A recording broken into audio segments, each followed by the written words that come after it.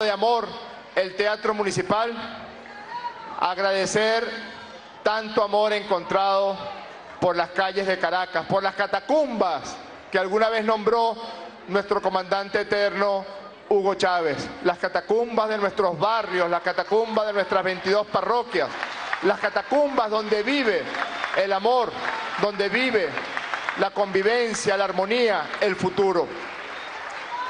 Quiero agradecerles profundamente que esta batalla y en esta batalla hemos demostrado que el amor sí puede derrotar al odio y que la, lealtad es muchísimo más poderosa que la traición. También quiero agradecer desde el fondo de mi corazón la presencia, la compañía, el combate, la ternura y la solidaridad amorosa de mi hermana del alma, Jacqueline Faría.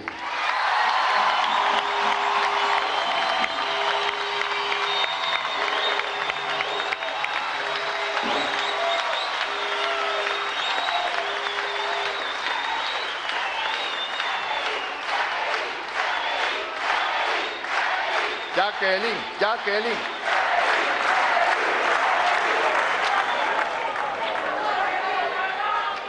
Y quiero, y no me vayan a decir Jaletti solamente porque lo nombraron ministro, porque yo opinaba esto hace muchos años. Se hizo patente y se confirmó de forma infinita en la campaña electoral y sé que será una verdad por los años por venir. No solamente agradecer, sino decir desde el fondo de mi corazón, Ernesto, eres mi hermano, eres mi compañero.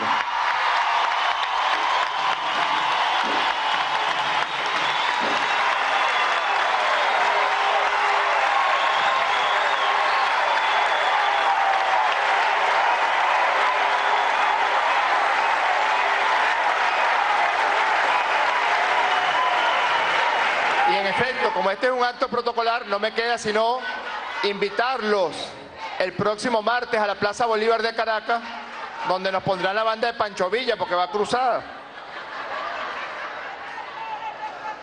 Y una cosa que llaman ahí el bastón de mando, que yo solamente lo uso el 19 de abril, porque en Caracas mandan ustedes, sobre todo las mujeres de Caracas.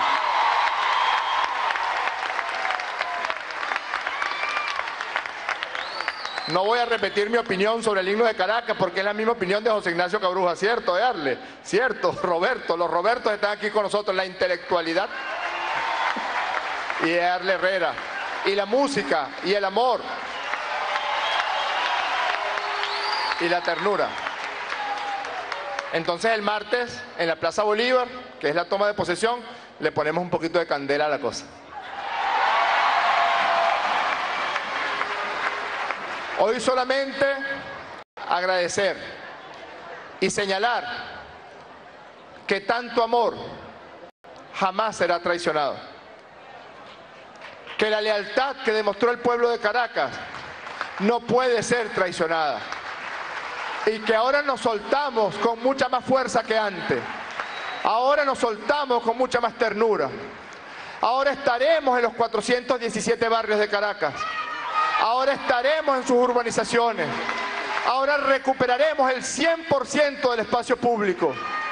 Y antes del año 2015 construiremos el parque que lleva el nombre del hombre que más ha amado a Caracas, el gran parque metropolitano Hugo Chávez.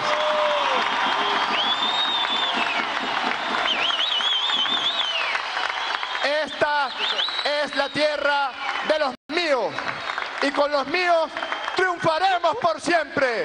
Independencia, patria socialista, viviremos